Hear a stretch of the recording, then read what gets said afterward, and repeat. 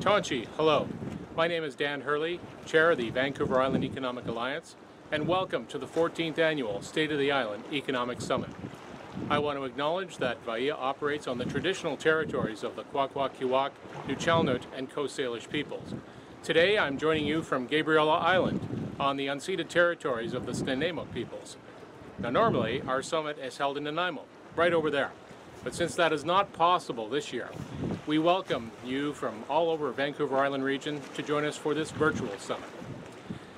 We have an exciting lineup of speakers and roundtables over the next three days, and we hope that you take advantage of as many of those as possible.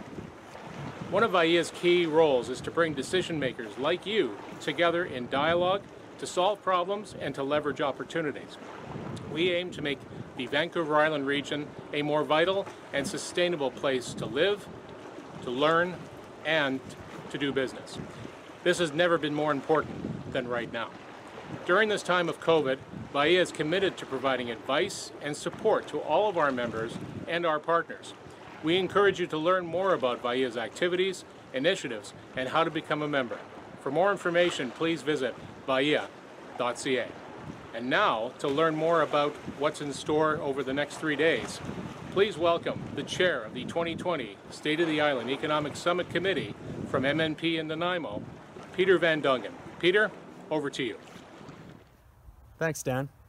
When we first started planning this year's summit back in February, I asked our committee members to describe what the summit means to them. One person summed it up beautifully when he said this. The summit is not an event. It's a tool for bringing people together. It's about how to make our island better. Clearly, the world has changed since that day. And while the format of this year's summit may be different, our goals remain the same. To deliver timely, relevant insights about our region within a global context, to spark critical thinking, problem solving, and collaboration about our most important issues, and to provide a forum to build relationships and partnerships. In short, it's about driving conversations that make our island better. Adapting to a virtual delivery format was not without its challenges. We owe a great deal of thanks to the many people who came together to make this summit possible. Thank you to our summit committee, who volunteered their time to help us navigate a new direction. A special thank you to our program committee, who did a phenomenal job adapting our program to ensure it remained relevant amid massive uncertainty and change. Thank you to our sponsors for trusting in our ability to deliver value in a new way. Thank you to George Hanson and the entire team at the Vancouver Island Economic Alliance, who conquered a very steep learning curve to reinvent the summit in a virtual format. And finally, thanks to you, our delegates, for choosing to participate.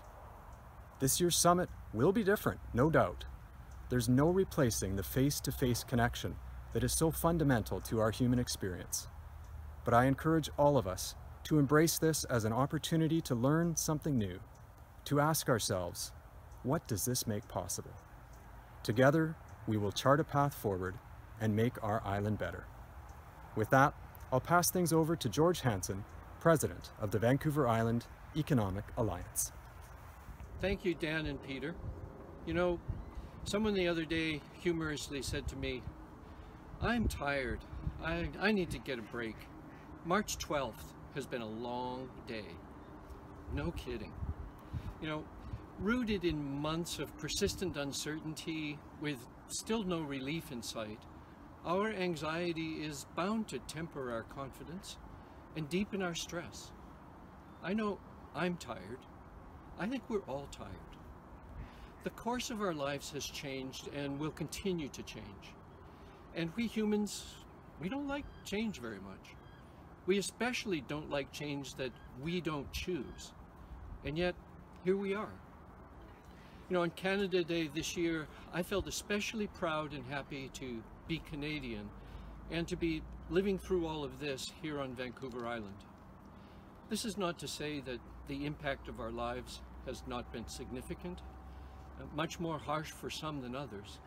But in comparison to most other places in the world, we here in the island region, at least thus far, have been spared the worst.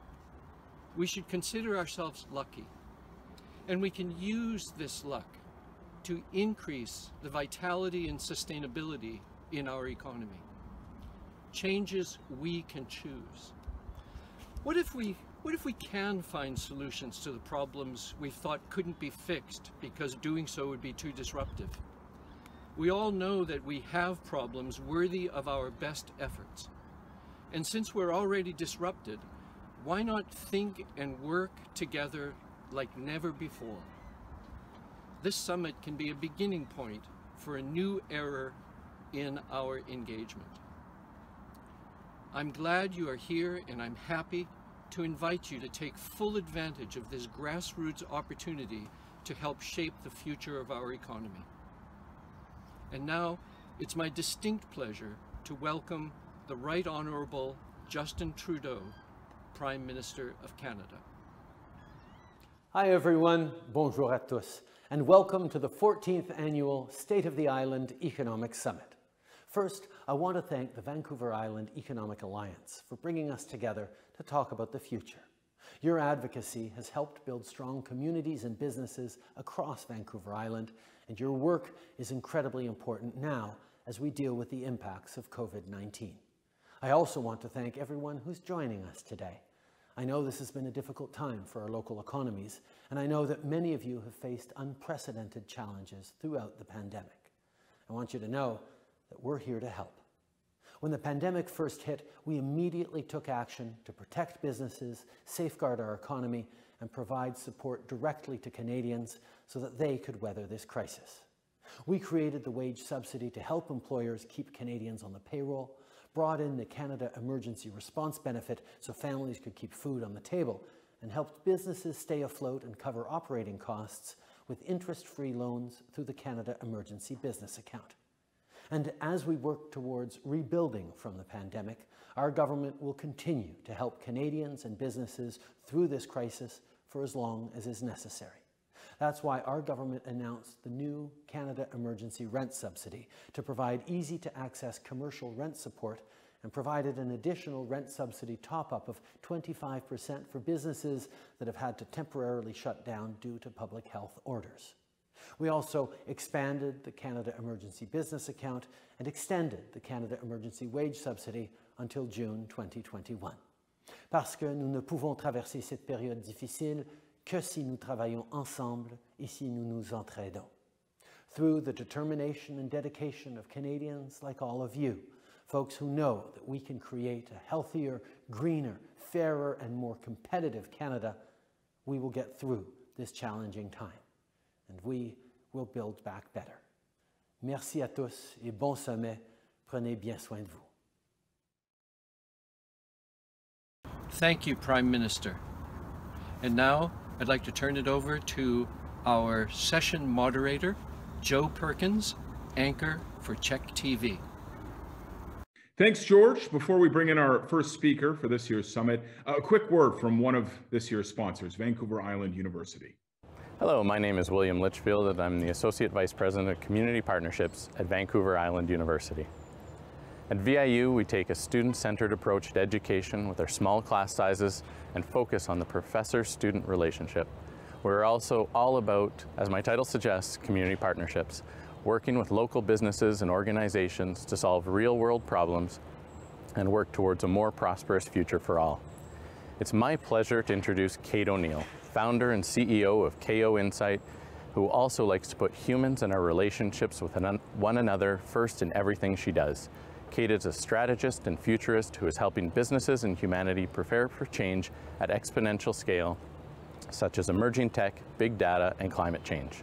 She's dedicated to guiding businesses and civil leaders to be both successful and respectful with human-centric data and technology and helping people better understand the human impact of emerging technologies.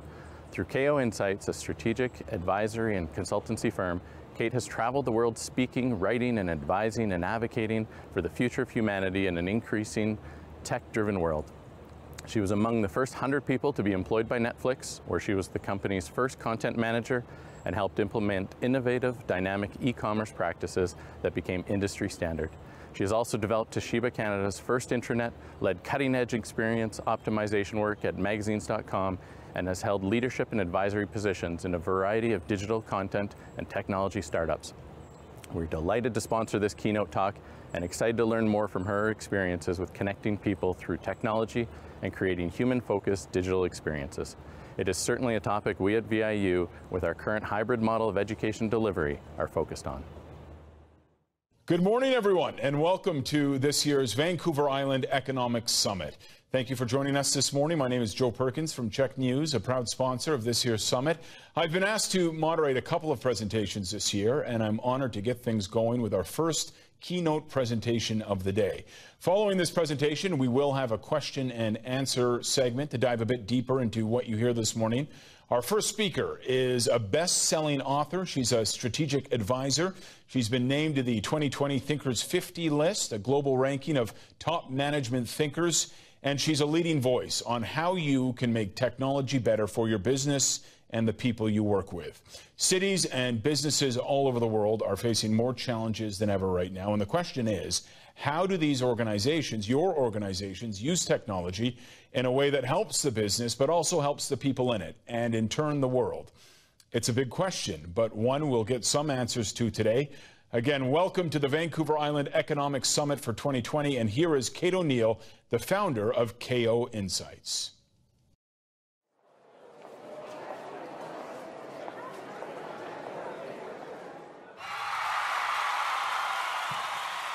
Hello, humans. hey, um, let me begin by addressing the elephant in the room. I'm not Canadian. Uh, I'm not from Vancouver Island. I'm not even from the proper coast.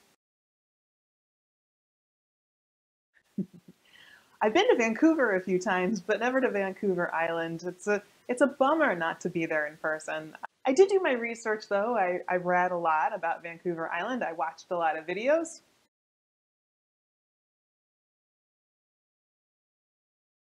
And I even tried my hand at making vegan Nanaimo bars. So I think it, it could be said that I did everything I could reasonably do to try to, you know, sort of simulate the uh, piece of the experience that I might have had with you in person while while there, while here in my apartment in Manhattan. And don't get me wrong, I love living in New York City. It's just that part of the reason why I live here, why I chose to live here, is because I uh, normally travel a lot. Sometimes you get to travel to lots of fun, interesting places, but not always. And it feels like a really great place to come home to. And speaking of home, have you ever stopped to wonder what that word home really means? You ever stop to think about it?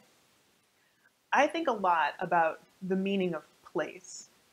And home might perhaps be the first concept of place that any one of us develops.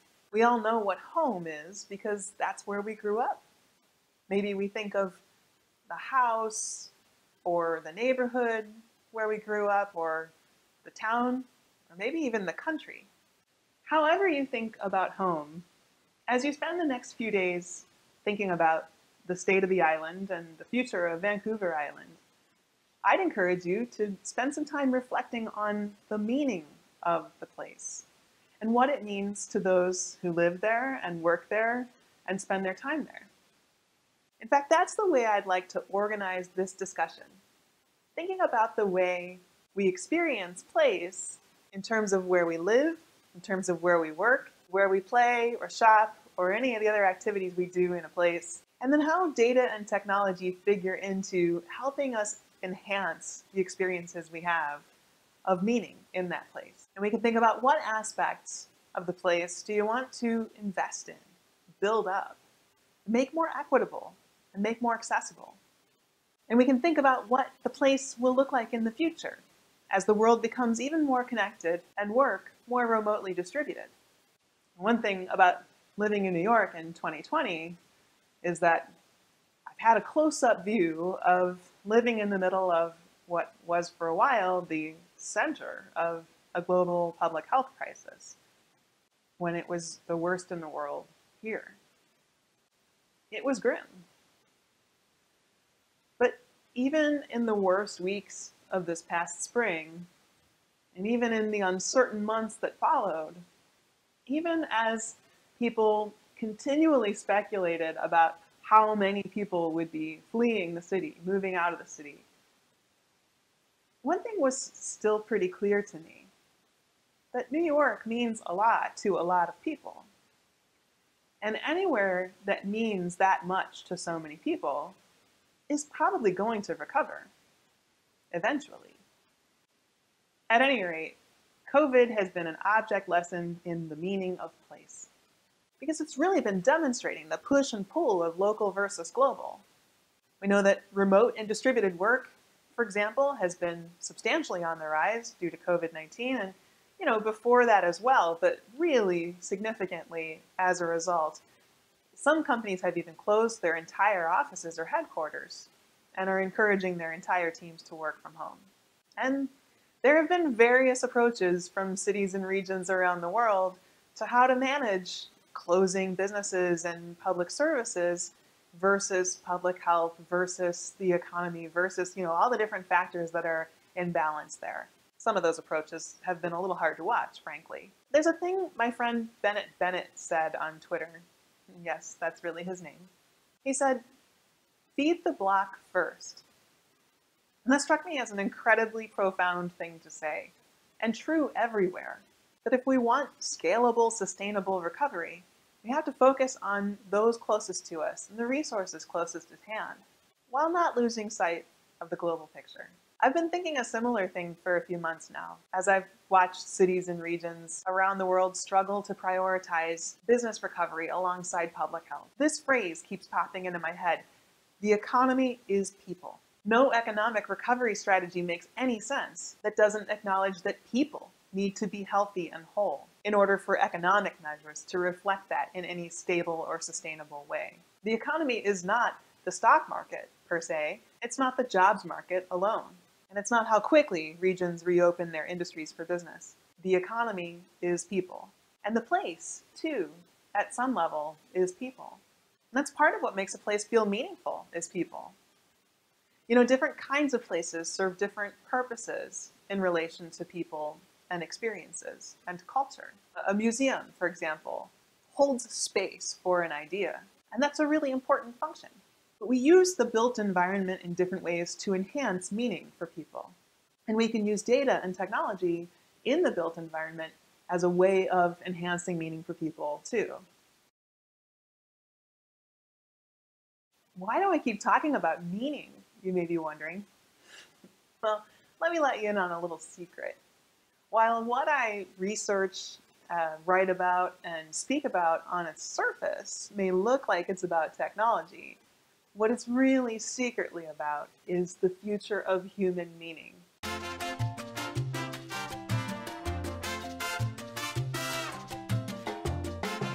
You know, because I'm so interested in what it is that makes humans human and what we need from our surroundings, from our activities, from our interactions with each other in order to feel a sense of purpose and connectedness. I would argue that meaning seeking and meaning making are two of the most human traits of all. See, meaning as humans conceive of it happens across layers. At the sort of base level, we could talk about semantic meaning, which is sort of the, the way we encode meaning into what we say in language. And at the most macro, big picture level, we can think about cosmic and existential meaning. You know, those big, universal, timeless questions of what's it all about and why are we here? But there's a whole lot in between those two extreme ends of the meaning spectrum, so to speak. You've got, you know, uh, relevance, significance, pattern finding, purpose, and truth, and all sorts of other things. And these are all part and parcel of what we are talking about when we use the term meaning or talk about things being meaningful. What's interesting to me is that in all the time I've been studying, the decades that I've been studying meaning, is that at every layer that humans perceive meaning. Meaning is always about what matters. And here's an interesting thing, because we're talking about data and technology at some level, when we think about innovation, one way to talk about innovation is to talk about what is going to matter. So that's a really interesting set of, of paradigms, of questions. So I want to offer you these two questions as tools to use over the next few days of this conference. Those two questions uh, you can use as lenses, two lenses to look at everything that you hear about and talk about and learn about through during these next few days and everything afterward too. So what is meaningful and what is innovative? In other words, what matters and what is going to matter. And then in addition to that, here are two more tools that I want to offer you. And that is anytime that you hear someone talk about data, in your mind, think about people. Because as we'll talk about in a little while, data in many cases represents the needs and movements and behaviors of people. And anytime you hear someone talk about technology, in your mind, think about human experience, because so much is wrapped up in the human experience of the technology. And when you think about data and you think about technology and you're thinking about people and you're thinking about human experiences, make sure you're thinking about how we can make those human experiences more meaningful for people. We already touched on home as a starting point for the concept of place and the meaning of place. But I want to explore further how a place like a region relates to the different ways that people there live, work, shop, and play, and how we can use data and technology in the natural and built environments to enhance the meaning of the experiences people have in those places.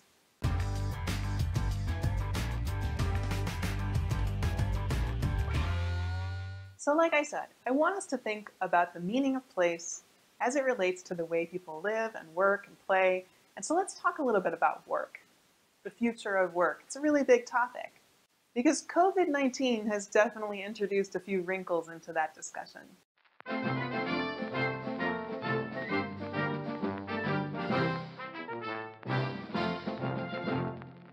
Now, there is and always has been a difference between work and the workplace. So there's a difference between the future of work and the future of the workplace. And that's become a little clearer thanks to some of the changes that have come about with COVID-19. So there's the workplace, which is wherever you are right now, which is maybe at home, maybe at your kitchen table, maybe on your sofa, maybe in your bed. I don't judge. And then there's the more official workplace, which is understood to be the center of the work, the office, the headquarters, the campus, what have you. That workplace has a whole new set of requirements thanks to the pandemic related to its ability to provide for the teams that need to be together, to facilitate their safety, to monitor their safety, to make it simple for teams to efficiently gather when they need to be in person, but then be able to get their meetings done and then get out so that they limit their time of exposure to one another. So clearly COVID has forced some big changes around remote and distributed work and the future of the workplace in that regard. But it's also forced some big changes and discussions around what is essential work. And it isn't necessarily the stuff that can be done remotely or in distributed teams. It isn't necessarily knowledge work, quote unquote. For example, janitorial and other cleaning jobs become critical during a pandemic. And there's only so many of those that we can entrust right now to, say, robotic systems. The larger lesson here is that this pandemic is just one form of exponential change that's affecting us all. But collectively, we actually face quite a few exponential changes in the road ahead. There's climate change, huge exponential change. There's the whole AI and emerging technology discussion. And then there's the fallout of geopolitical upheaval. And all of these things are happening in combination with each of these other things. So it's critical that we think in an integrative way to be able to build effective workplaces and businesses and careers for the future that is emerging.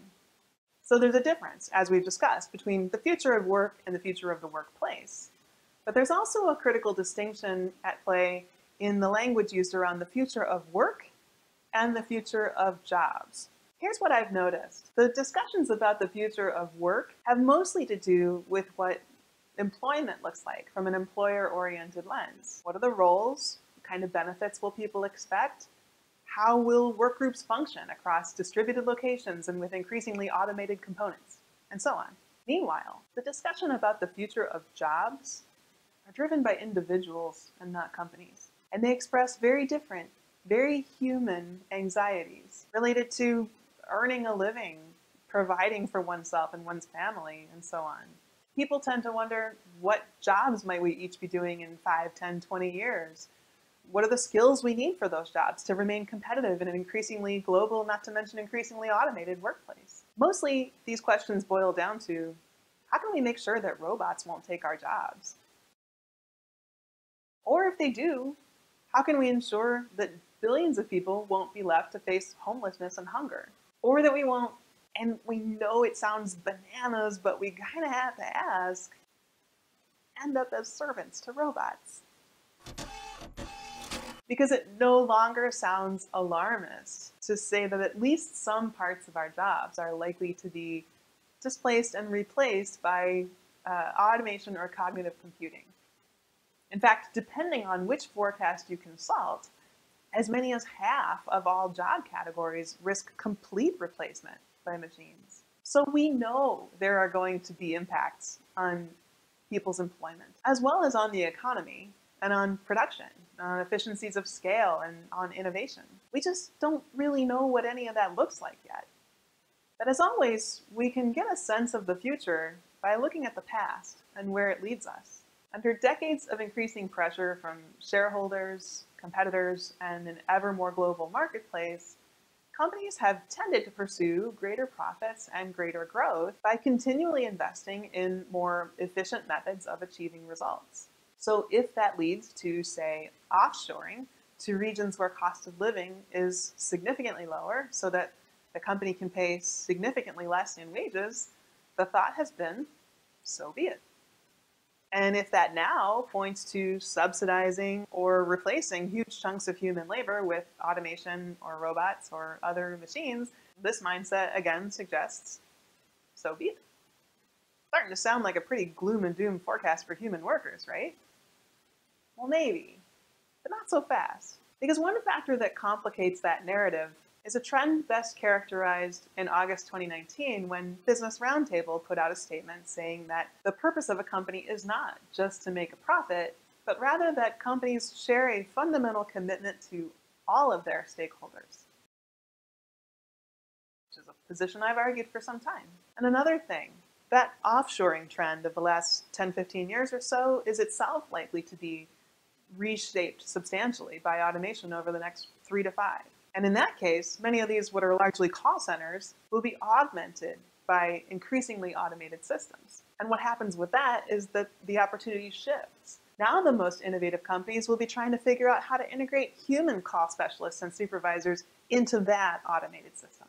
And the work that will fall to humans will increasingly be the tasks that require emotional agility and strong communication and language skills. It's a complex picture, but it's important to note that adding automation to the workforce doesn't necessarily mean that human jobs become eliminated.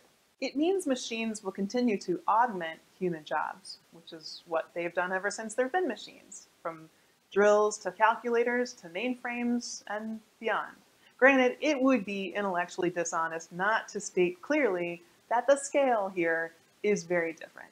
And it is true that the rapidly growing capabilities of automation are making it increasingly possible to displace and replace the tasks of human workers. But the essence of the equation is still machines are built to take on tasks, whether for efficiency or for accuracy or for safety. And then the set of jobs that we do changes as a result.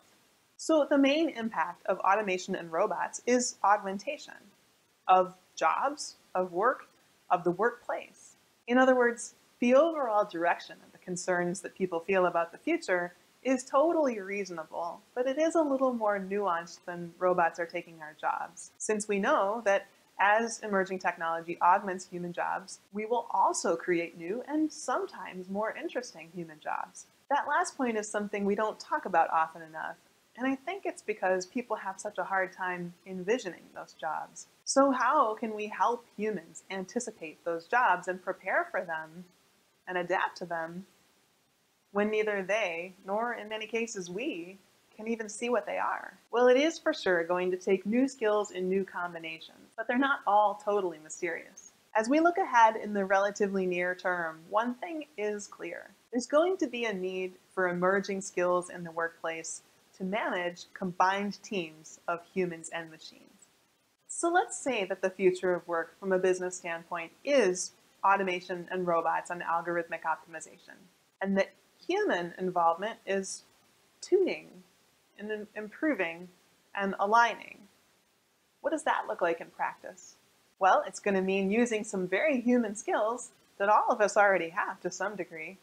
And if we look at work as a marketplace, not just of jobs to be done, but of value to be added, it becomes a little more clear where humans have a promising future. After all, jobs to be done are discrete, identifiable units of labor that can be executed by anyone or anything. So we can expect those kinds of tasks to be easily automated. But the judgment it takes to size up a situation and break it down into its component tasks is often more complex and more nuanced and more subjective. Traits which, for the moment, are more in line with human capabilities than machine. And there is arguably always more value that can be added to a function or a service or a product or anything by imbuing it with meaning, which is again something humans are better poised to do than machines.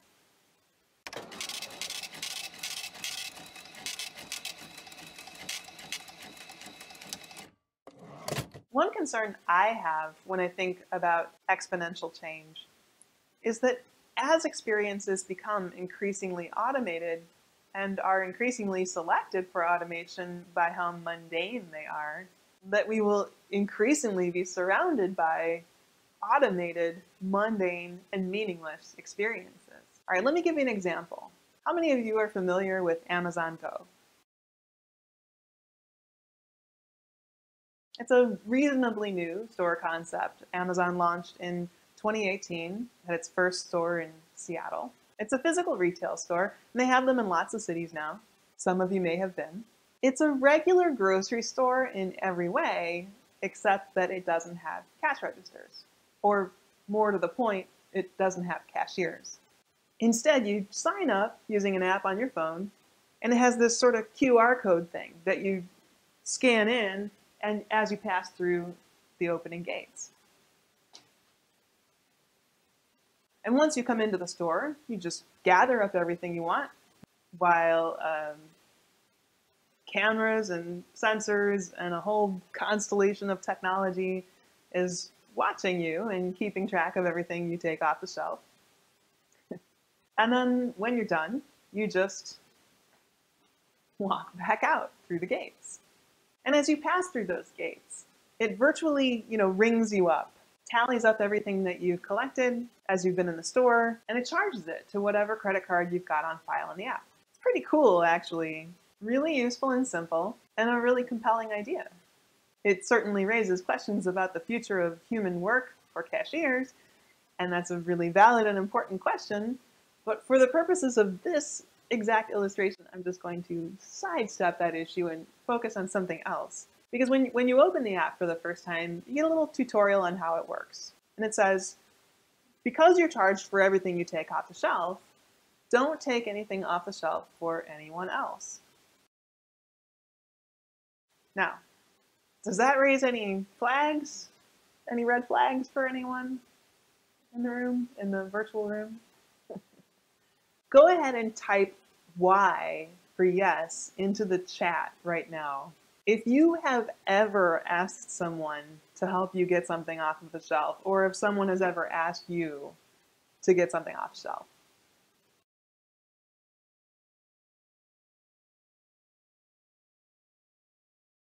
Everywhere in the world I've ever talked about this, and I ask people to show hands, it's a nearly universal phenomenon. Like whether we're in, whether in the U.S. or Europe or Hong Kong or India, it's a nearly universal human phenomenon. It's sort of a charming human experience of sharing and helping each other. In fact, it's so common a human experience that not too long ago I was rewatching the movie Double Indemnity, and there's a scene in which as Fred MacMurray and Barbara Stanwyck are conspiring to cover cover up a murder. I'm sorry if that's a spoiler, but this is an 80 year old movie, people, so catch up. Anyway, as they're conspiring, a random woman approaches the. They're in a, a grocery store, and a random woman approaches and asks Fred to reach the baby food that's on the top shelf. So, what if this had been an Amazon Go store in 1944?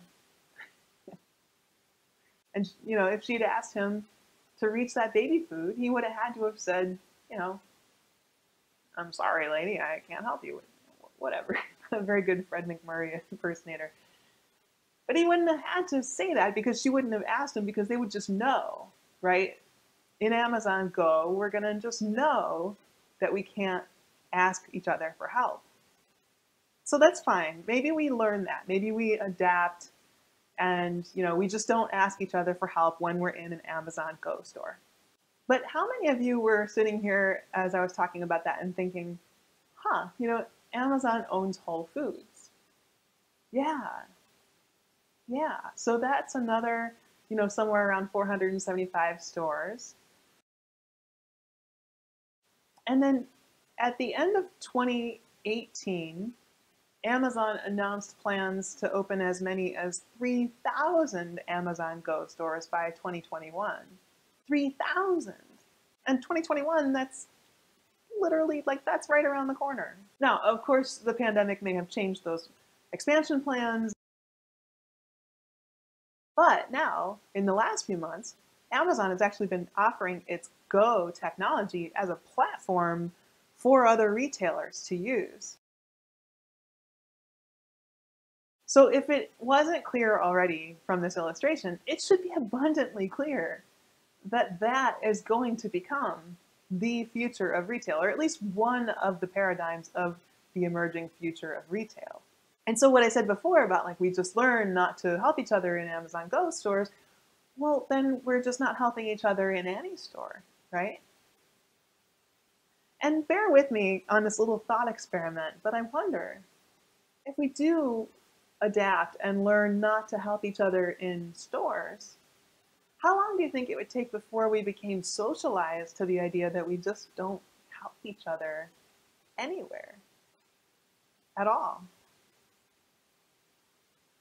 And you may say, Kate, that's a little extreme. That's hyperbolic. It'll never get to that point.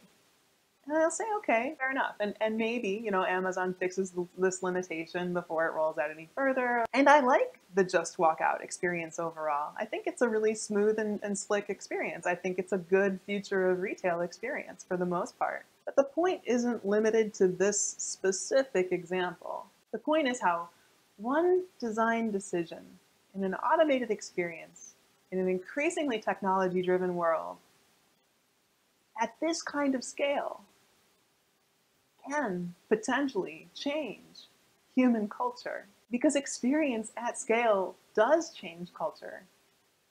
You know why? Because experience at scale is culture.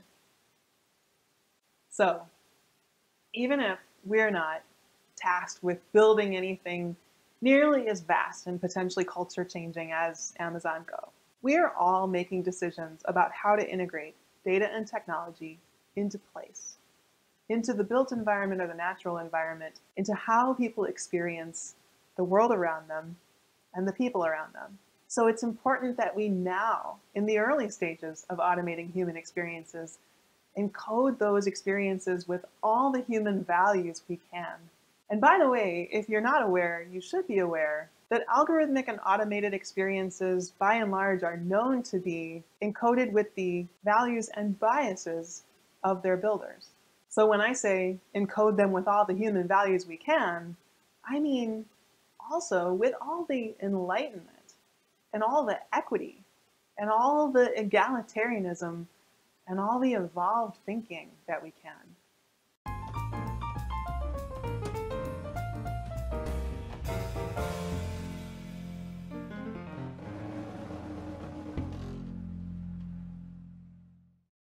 Had the opportunity a few years ago to go to Amsterdam and present a vision of a human-centric model for the metropolis of the future. They prefer the term metropolis to city, so city of the future, metropolis of the future, region of the future, whatever works. What was so inspire inspiring and exciting about that is that Amsterdam is approaching its 750th birthday in 2025. So like all of us when we're approaching a milestone birthday, I wanted to look and feel its best. So it started thinking about all the ways that it wanted to improve before hitting this milestone and identified seven pillars along which they wanted to improve. And a few of them were really related to my work, like, you know, tech talent recruitment and smart city sort of deployment and things like that. And AI, thinking about how to integrate uh, intelligence into the city for the good of its inhabitants. So I got to present this dimensional idea of how to build data into infrastructure and systems in a way that exposes what's meaningful for people. Take, for example, public transportation and the opportunity to use the built environment and integrate with the built environment in ways that surface meaningful and relevant context about when's the next train coming, for example? How long's a journey going to be between different stations?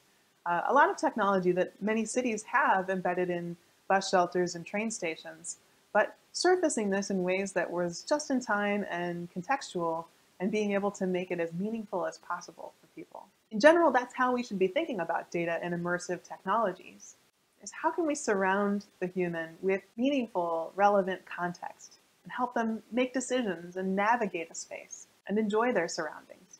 There's a huge opportunity for using data and spatial experiences for both the natural and the built environment. There are certainly opportunities to embed data within a built environment for navigation. And you see this opportunity a lot for something, say, like a hospital, where you may have someone who's visiting a loved one who's in a room in a hospital and doesn't know how to navigate the complex wings of the hospital, but using context-aware uh, signage and navigation cues, you can help somebody uh, using the technology of their their phones or whatever devices they have to help them get where they need to go and have the most relevant information provided to them in as useful a way as possible. You see opportunities with code compliance checking or visualization or a lot of other kinds of ways to use data and immersive technology in the built environment, in new buildings and uh, new developments. And then in the natural surroundings, I had the opportunity to speak last year with the Yale Forestry and Environmental Services Department and give a guest lecture in their, their uh, department. I got to hear about some of the projects that the students were taking on, uh, exploring uh, oceanography or studying animal populations in some part of the world, and how they can use data in ways that provide meaningful insight back. In too many of the discussions about data and emerging technology, we tend to think only about commercial use and, and consumerist use of data and technology rather than how we can actually solve human problems at scale. And look, no one is saying that 2020 hasn't been a whole mess of stuff to deal with. It certainly has. In fact, a, a corporate client had me do a virtual event with them for their whole company uh, that they were calling a fireside chat. You know, this is really common term that we use in the industry when we're talking about a, an interview type of format. So it was a fireside chat. And just for the fun of it, I know that many of you will recognize the, uh, the meme that this image comes from.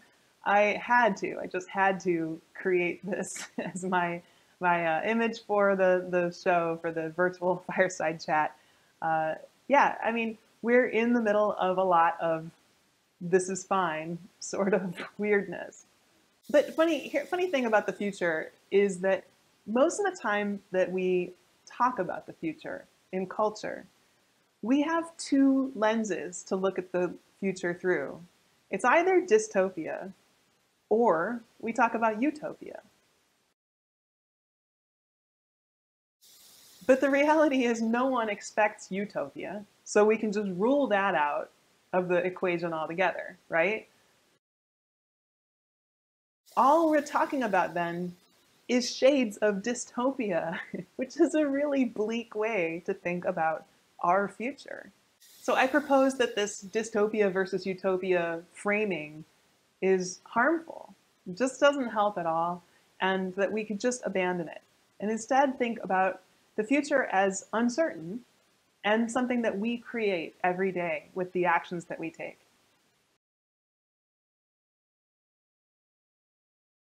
The future is uncertain.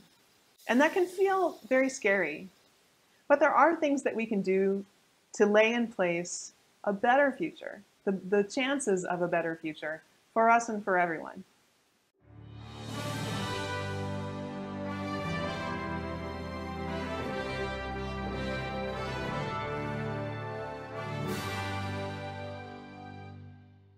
You know, artificial intelligence and other emerging technologies are notable for the vast scale and capacity that they will bring.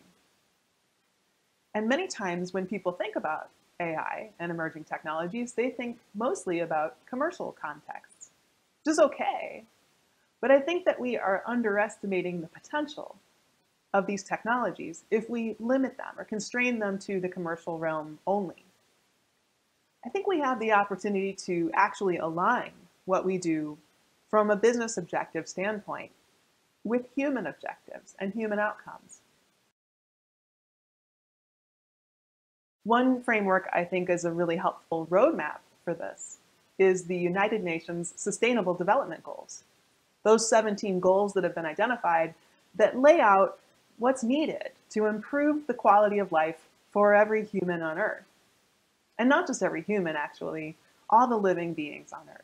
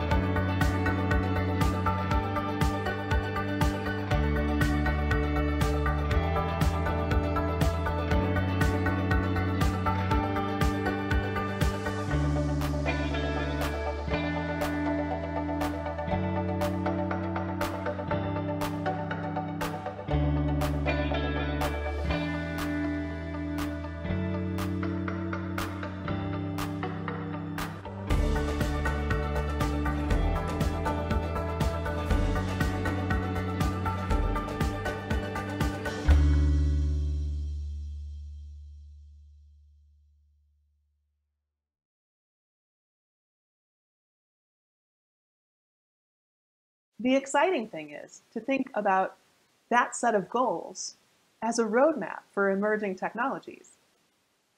There are plenty of opportunities within those goals to develop emerging technologies to bring them to scale, to solve human problems at scale. I, I created a, a collection of headlines, for example, these are just uh, AI proofs of concept that I see in headlines. So over the last few years, whenever I've seen a new story about, you know, some kind of AI experiment that's trying to solve some form of human good, I've rolled that into this slide. I've color coded uh, those headlines or the, the sort of summary of the headlines to match the sustainable development goal that it most aligns with. And you can see that there's a tremendous amount of momentum that could come from really thinking about how could we use emerging technologies to solve human problems in alignment with what's already been identified as the direction we need to go.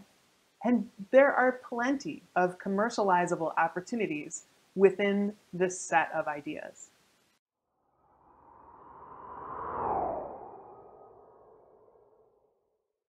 What's important is that we try to create a future of place and work and jobs and workplaces that promote the efficiency of technology, sure, but also the best and most meaningful characteristics of humanity, like compassion, understanding context, helping each other, and using good judgment.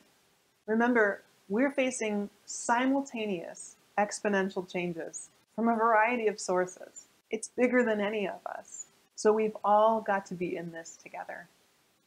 And the more we align business incentives and human values, the better the chance that rather than accidentally automating meaninglessness at scale, we can instead build the meaningful experiences of the future in our jobs and beyond our jobs and in the places where we work, live, and play. Thank you.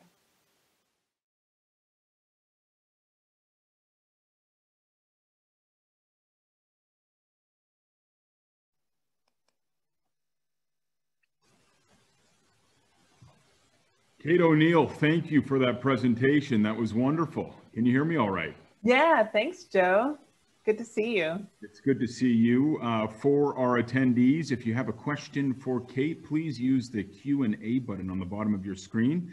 We have about 15, 20 minutes, so we'll, we'll ask Kate some questions. I think, Kate, I, I'd like to start. It's not every day that I get the chance to talk to someone who lives in, in New York City. and that is uh, ground zero right now, unfortunately, for this pandemic. So while we, we get some questions in the queue, uh, perhaps a personal one about what life has been like living, um, living in New York. You know, it's funny. I think it was more ground zero back around sort of April, May timeframe uh, when it really hit us, uh, where I think I think it caught the world a little bit by surprise when uh, at least within the U.S., we were looking toward China to to uh, mitigate the influx, and it was actually already in Europe and coming to New York from Europe. So around um, April or May, we really had it bad, as as you've seen, I'm sure, with the numbers, um, and uh, it was it was definitely a very you know surreal and weird and difficult time for many people. But I think you know we really got it together in New York uh, pretty well since then. There's been a lot of mask compliance. Uh, the the um, policies that have come into place since then, uh, led at the local level and at the state level, have have both been very um, very agile and very aware of the data and of the science. So I'm very fortunate that that um, you know we've stayed healthy. My my family has stayed healthy, and uh, we've been able to stay in the apartment and keep keep connected with the outside world through uh, interactions like this. So as much as I would so much love to be in Vancouver Island right now, uh, having this conversation with you face to face on a stage, it's uh, it's lucky I think that we have the technology at this point to be able to to adapt and do this kind of thing. I think everyone would love to be able to do this uh, like we have in past years, but you know, kudos to the organizers for getting this thing uh, up and running. This is pretty neat. That so far, I mean, first presentation, we're about uh, 45 minutes in and no problems. So this is this is good. Um, we've got some questions coming yeah. in.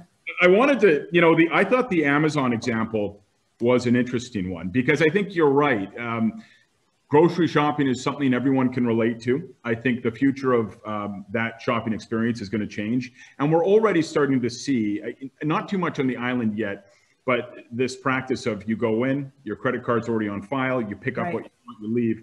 And and as you were saying it, you know, I, I understand that cutting down on that human interaction can be a negative thing, but there was a part of me that thought, you know what? There's a reason they're doing this, and it's for the ease of the experience. It's to speed things up, right? And so, sure. could a flip side to that, to play devil's advocate, if if our retail experiences like Amazon Go are mm-hmm. quicker and faster. Um, that leaves more time for other more genuine personal experiences.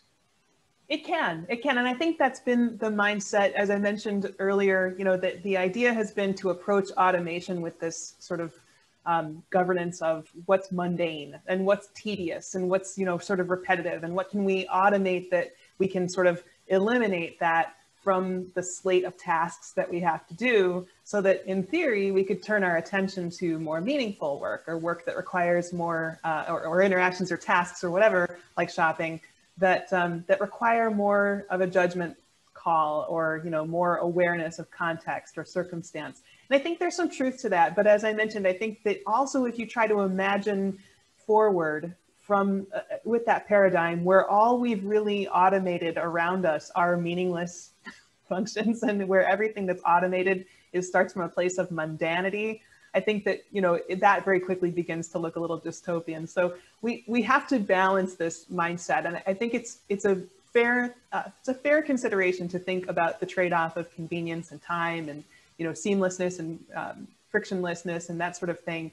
And I, as I said, I, I really like the the just walk out concept. I think there are a lot of these kinds of automated experiences that are going to give us back some time and some convenience. I think it's just important that we're also asking the question alongside that of what are those trade-offs that we're making? And if one of those trade-offs is, you know, we don't, we're not able to have a human interaction like, hey, can you reach me that baby food on that shelf? Mm-hmm. Because mm-hmm. it will charge us. And that's a, that just becomes sort of subtracted from the kinds of experiences that we can have I, I don't know that we're not poorer for it. And I think it's an important thing just to ask in, in sort of a philosophical way. So I think those are all just considerations that belong on the table, not to say that one thing is, you know, inherently more important than the other. But I think these are these are rich, nuanced conversations that need to be part of imbuing our surroundings with technology.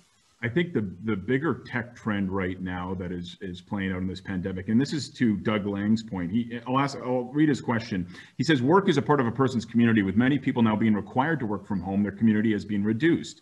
What will this do to a person's mental health?" And I think he's right. I mean, we talk about the value in human experiences, and this is something any business owner right now, and, and many of the people watching are, are dealing with. They, they're leaders of companies that are being forced to cut down for health reasons on mm-hmm.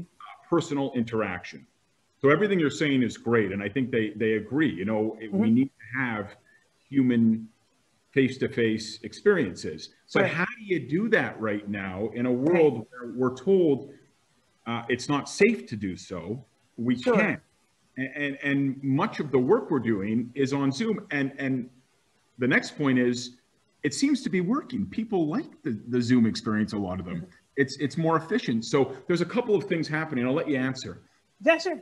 So I think I think there are a couple of things happening. You're right, and and I when I talk about um, the the nuance of say the Amazon Go experience and that helping each other, obviously I think we're we're thinking about an environment where we we're not necessarily bringing COVID into that picture. Once we bring COVID into the picture, and we're thinking uh, about the world as it is right now and will be for you know you know perhaps a few years even at this point, we do have to think about what contactless looks like and what social distancing looks like in all of these types of experiences the live experience the work the play the shopping all of these things so yeah, so there is certainly um, th- that becomes a, a, different set of equations, and the the uh, trade-off, as you say, of you know being able to do Zoom calls with people instead of meeting for coffees or things like that. Um, there's a there's a, uh, a weakening of the tie that happens. I think you know we rely so much on our sensory parts of our experiences in order to have the most meaningful experiences. So being able to be in person with someone and having that coffee or whatever is is definitely a different kind of experience as we all know from sitting across a screen you know from someone. But you're right they're, they're also more efficient and we can cram a lot more of these you know zoom meetings into the day and we don't we don't have to necessarily generate uh, the same level of carbon emissions when we are meeting with people who are in other parts of the world. So you know it, it does cost a little bit of carbon to you know have a, uh, computer footprint, you know, having the, the computer turned on and, and connected to the internet and all of that. But it's not flying. It's not flying internationally. So there's definitely these things that we have to weigh into the overall picture. But I think just from a human experience standpoint, it's important to be able to, to acknowledge that there are things that we can do when we're uh, dealing with the virtual realm that we can't do with physical, that word phygital. I don't know how many of you have run across this um, hybrid word of physical and digital that people sometimes use, and I, I actually hate it. Didn't mean to say it, but yeah. So the virtual versus the physical, and then we need to think about what are the benefits to that. I, I think actually um, George said it in his opening video. Uh, or, or, maybe it was Peter. One, one of the two said something about like what what are going to be the benefits that we have when we're using these virtual formats, and how can we lean into those for the time being. I don't think that virtual meetings and Zoom and that sort of thing is going away even once there's widely available vaccine and we're in a whatever returning to sort of the safe post COVID state looks like. I think that we're going to have learned a lot about how to effectively have virtual relationships and virtual business. And that's going to remain in parallel as we resume a lot of the, the physical activity. So I think it's important for us in, in thinking about what sort of digital transformation looks like uh, from a business standpoint and from a community standpoint, that we do continue to invest in these virtual realms and that we, we're you know, up to speed on what these platforms can do for us and, and what, what's good about them and then you know also be very much looking forward to the chance to return to uh, our physical selves and, and being in person in proximity with one another. Lots of questions coming in, Kate. Oh, okay. It's nice to see people so engaged. We were supposed to be off by 9:30, but I've just got a note here from the organizers. How about two more questions? Do you have time for that? Right. Sure, of course. Okay. Uh, this is a question from Scott Harrison from the town of Qualicum Beach, a lovely place uh, up island. Uh, how much of the future of work and technology will be automated? uh, like program writing skills, licensed software tools, and what skills should we be focusing on to prepare workers for that future? Well, I think Scott, it's it's a really good question, and it's impossible to to give a blanket answer for that. But I think it's it's really wise, I think, to think about most tasks moving toward automation. And as I mentioned earlier, I think what that means is as more tasks become automated, the sort of scope of jobs, sorry, the scope of jobs that shape around those tasks shift. And so we need to think about moving human workers toward more nuanced skills. All of the skills that we learn as soft skills, like project management and delegation and coordination and communication and all those kinds of things are all going to continue to matter. Like we need that in the workplace. When we're thinking about managing combined teams of humans and, and machine sort of resources, automated resources, it's going to be important that humans are doing the nuanced work, that we're making judgment calls, that we understand how to evaluate context. You know, I saw a, qu a question earlier that I can merge into this, which was about, you know, the, the mention I made of, of adding value uh, and, and what that means in practice. And so I think you can look at an example like in a call center, an awful lot of the calls that come in, let's say for a bank or for any kind of institution, a lot of the calls or emails that come in are about say things like password changes or I can't, I can't get into my account. And what's easy is to be able to automate that sort of that process in many cases. And I've seen a lot of success with clients and, and companies that I advise when they move toward automating those types of interactions. The, the most basic fundamental types of questions that people tend to ask, which are, by the way, the most frustrating and limiting for the people on that outside, you know, customer sort of side of the equation, and are the least rewarding for the person who's answering phones or answering emails. There's no nuance to that. But what you do is then you move people who have been answering those questions into the more emotionally agile kinds of things. Like, you know, I need to close this account because, you know, I'm, I'm going, going through a divorce and I need to figure out how to make sure that my accounts are separate or that there's some sort of human need for capacity of understanding or understanding judgment or, or context. Those things are very different from here's how to access the form that will provide you with your password. So I think that's the kind of thing that we need to be looking at is how do we how do we separate tasks that are fundamental and have really no uh, sort of emotional attachment to them versus the ones where we can imbue more of a sense of meaning and value by being more human in those roles and continually adding value and upvaluing those kinds of skills. Uh, thank you. One more question for you. I will say Alana uh, made uh, great comment, I thought. She says, obviously, uh, you haven't spent a lot of time on the island because this is utopia. Uh, I believe it. referring to your dystopia utopia argument, which is, uh, I like that, Alana. That is fantastic. We are lucky to live here. New York's great too, but it's pretty great. But yeah, I'd love to see your island. You can come to my island anytime you want. okay, last question, and again, yeah. thank you for going over. Um, time's just flying by. This is from Barry, and I think this is a good question. He says, what, what is your opinion on the movement for a universal social dividend to tax global tech companies and create a global universal income from this, this fund? Do you agree with that idea? And, and if you do, do you think that's uh, realistic? Yeah, I think it's a really good question. And it's one that I've gotten into in a few other places, and it's probably going to take a longer time than, than I have. But in, in short, I think that it's one of many possible answers. I think it is an, a, a, solution worth exploring. Um, I, I don't know that it doesn't further some of the inequities that we, we already have, because I think what it, what it might do is further consolidate who holds power and wealth and how many people don't and don't have access to power and wealth. And so that, that worries me a little uh, about that solution. So I think it needs to be in combination with a concert of solutions, but I do think that it's something we need to be experimenting with on small scale and see how it plays out in small scale so that we can see how it might play out in larger scale at the provincial or state level or at the federal levels and, and in concert across nations, which I think ultimately would, would be the right solution if it's the right way to go. So I'm very curious to see um, models that play out with it. Um, I, I, again, I think the social implications are a little more complicated to unpack, but it's a really good question and a really good ponder. So I hope that you're doing further research on that as well. Thank you for that. Well, Kate, thank you for kicking off this uh, this year's summit. It was a great start, and to everyone who listened in and uh, provided questions. Sorry that we couldn't get to all of them. Uh, we have to thank our sponsor for this presentation, Vancouver Island University. Thank you to them. Uh, I believe, Kate, uh, you were getting a gift in the mail from St. Jean's Cannery and Smokehouse. So right. enjoy that, a taste of Vancouver Island, right? Yay. Um, thank you very much. Uh, I, I want to mention to everyone here uh, that attendees can visit the exhibitors. Uh, the next session will start at 12:30. Again, this is all online, and I'll be back with you uh, for the final presentation, the the economic report on Thursday night at six o'clock. So enjoy this year's summit. Thank you for logging on, and Kate, uh, thank you for kicking things off. Thank you, Joe. Thank you, everyone. Have a great summit.